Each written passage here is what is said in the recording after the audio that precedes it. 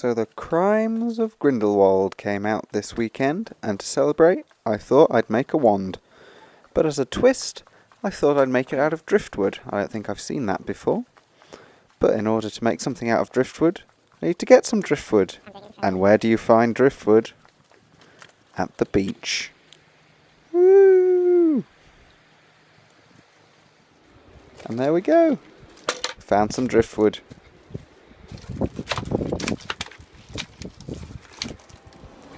So I started by sawing the driftwood I collected down to size.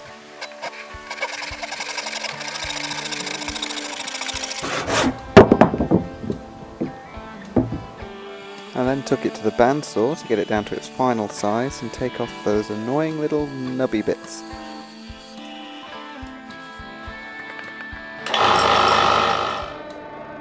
I then turned down the piece of driftwood to a more manageable wandy shape thing.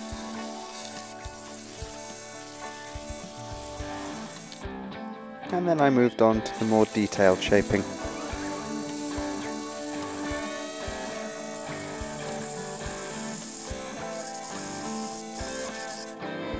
I wanted to keep as much of the outer layer of wood as possible, so it would maintain its driftwoody look.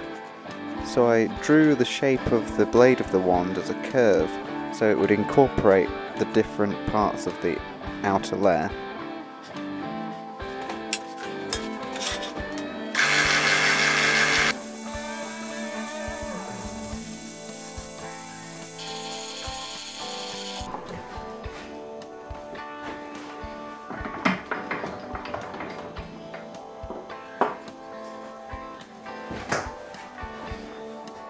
And then took it to the bandsaw to take off the end, which of course went by with uh, with no surprises at all, except that one. And then I cut down the blade of the wand to the shape I had drawn earlier. Blade of the wand? Is it called the blade? Comment below what you think the, the end bit of a wand is called. I'm going to stick with blade. So then I took it to the bobbin sander take away some of those roughly band sawn edges.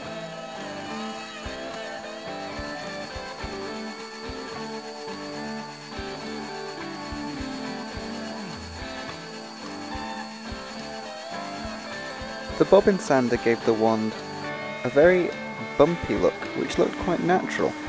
I had considered smoothing this out, but I thought it fit the driftwood style very well.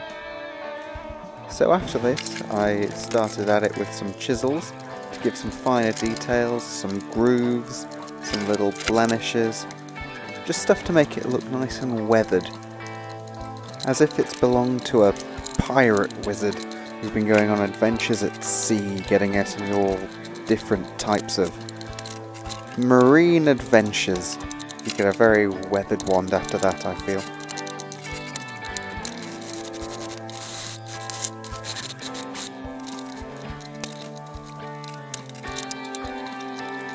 I like to think that our uh, pirate owner of this wand will have been so careless on his missions that he'll have snapped it in half a few times, so it will by necessity have to be bound up with string, or magic rope more likely.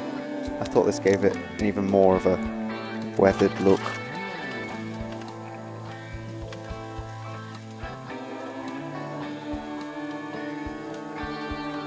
So once it had been finished with Danish oil, I think it was about done.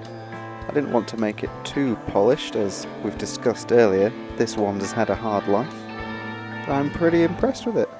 It's retained a lot of its outer driftwoody look, and it's gained some new battered and bruised features along the way. I think uh, if I was a pirate, I'd definitely use it. But now it's time to see if it works.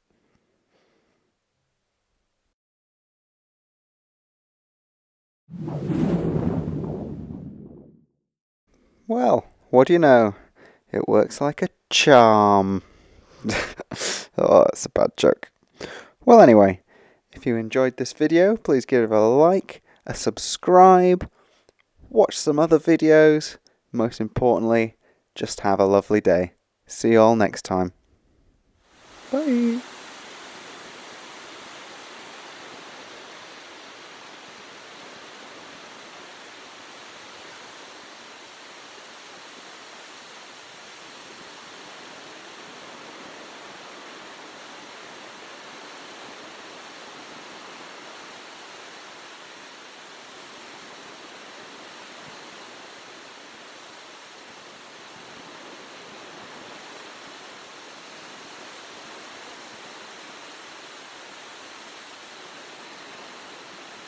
Crimes of Grindelwald was a bit rubbish, wasn't it?